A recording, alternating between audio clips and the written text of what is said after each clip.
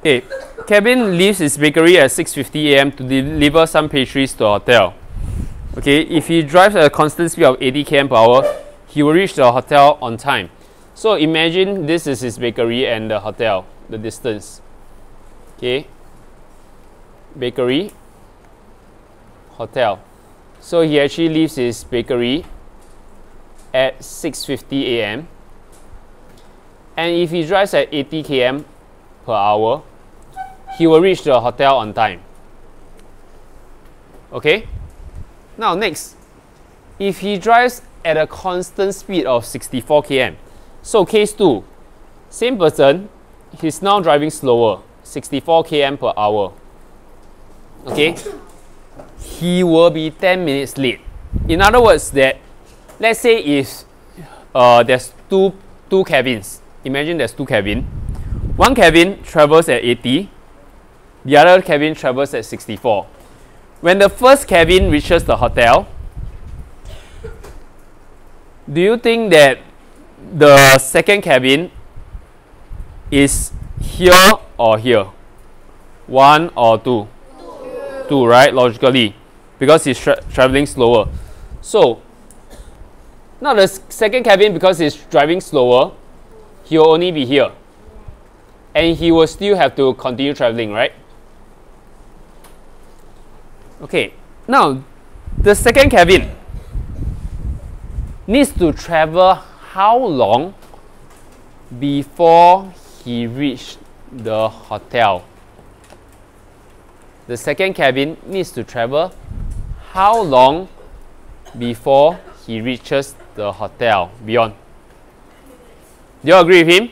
Yes. Okay, because they say he will be 10 minutes late. That means he would require another 10 minutes to reach the hotel. So from here to here, we know the time is actually 10 minutes.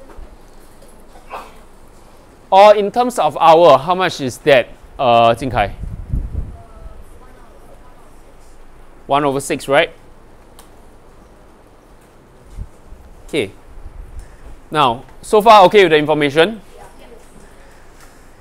We know the speed for this part of the journey. When I say speed is for this part of the journey, uh, the speed here is how much, Ernest?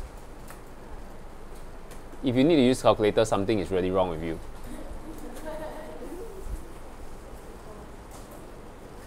Sixty-four. Right, help you, uh. Do you agree sixty-four?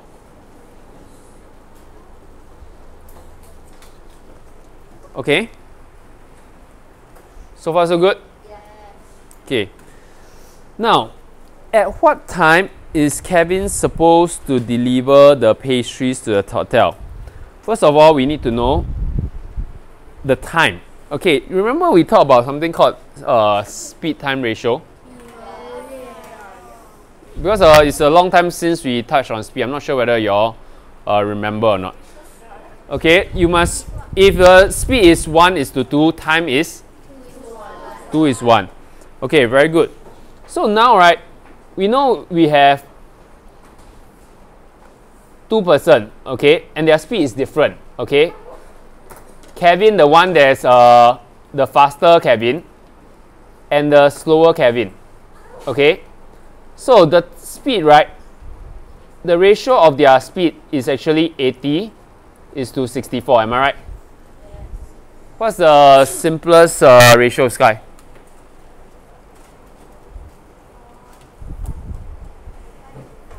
5 to 4, right? Correct? Now, if I want to know the time taken for the faster Kevin against the one that's slower, what do you think is the ratio, Lauren? 4 is to 5, right?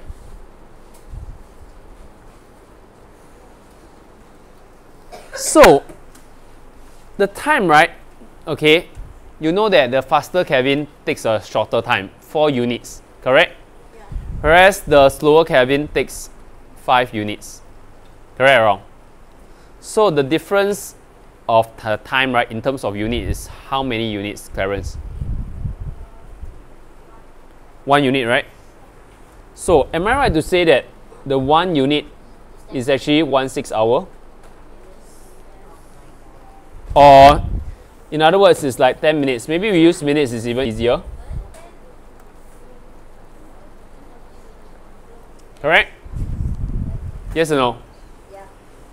So we know that actually the faster Kevin actually took 40 minutes, whereas the slower Kevin takes 50 minutes, right? To complete, right? The task of delivering from the bakery to the hotel. If that's the case, I would know that if Kevin leaves his bakery at 6, 6.50, at what time is he supposed to deliver to the pastries to a hotel on time? 40 minutes, right? So, what time? 7.30. Quite easily done. Okay, so of course you need to draw a timeline. 6.50. Okay, you add 40 minutes and it becomes 7.30. Okay, so the answer, yes, very good, Wendy. 7.30 a.m. Please include your units. Anyone has any problem or not? Speed time ratio is a very, very important technique, okay, of solving. But you need to practice many times to get used to it, or else it will not come into your mind. Okay, let's stop here.